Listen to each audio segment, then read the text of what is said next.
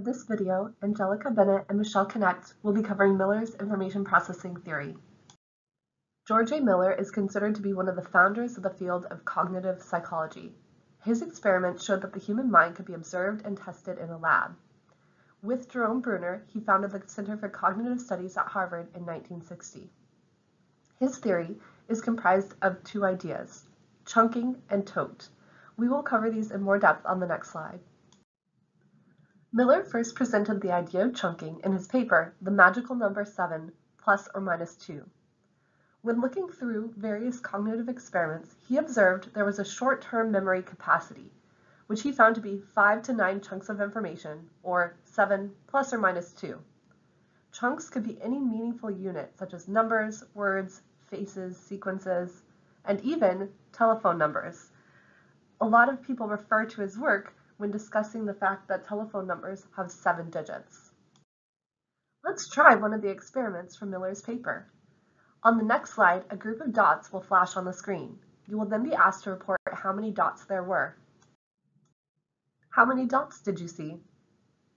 Let's try again with one more slide. How many dots did you see this time? When they ran the same experiment in 1949, Kaufman, Lord, Reese, and Volkmann found that greater than seven dots led to estimation. Was that your experience? The first screen had six dots, whereas the second screen had 10. Seven was found to be the breaking point for short-term memory capacity. So the second part of Miller's information theory is called TOTE, which stands for test, operate, test, and exits. So the example given in the book is hammering in a nail. So in this example, um, you would insert the nail, hammer, and um, see where the nail is. And if you need to hammer more, then you would hammer more. And then you would stop when the nail is flush with the surface. And this is a very simple example, but the idea is that you would stop once that goal is achieved. And this is often also part of a hierarchy. So once you have, for example, the nail holding one board into another, um, that's part of a hierarchy where maybe you're building a treehouse or you're building a birdhouse.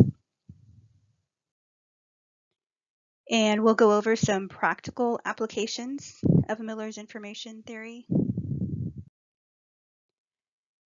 So the first is um, to use short form online learning modules there was a study from Illinois Wesleyan University that found that when comparing a long-form learning module with the same information that was chunked into four separate learning modules, it was found that chunking led to increased completion rates and a significant increase in the pre and post test scores.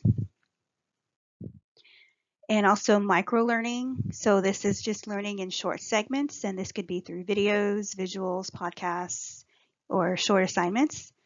and this is just um, presenting the content in smaller bits um, to keep the students engaged.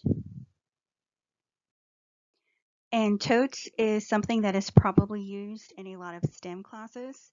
In our last module where we did the exercise in HTML, that's actually a perfect example of TOTES, where if you were learning HTML coding and you entered some code, for example, and then saved to see what it would look like as a view, as a web page. Um, you could see what it looks like. If that's not what you intended, then you could go back, adjust the code, save it, and then view it again, and then stop once your goal is achieved or you um, have the correct code so for planning, I suspect a lot of you that are classroom teachers right now, you probably are already incorporating these things into your planning. So you're probably already introducing information into smaller chunks, into um, shorter activities, for example.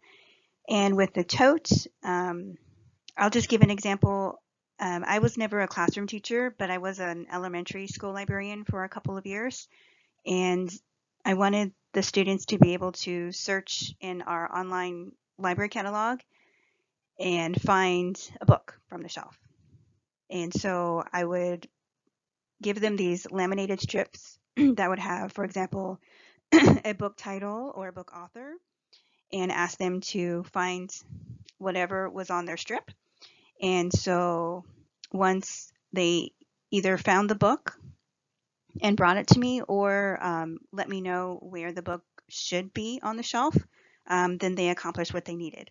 And just like with the example with the hammer and the nail, um, this is part of a hierarchy because, of course, finding a book from a catalog is a very basic um, part of information literacy, and there are lots of steps after that.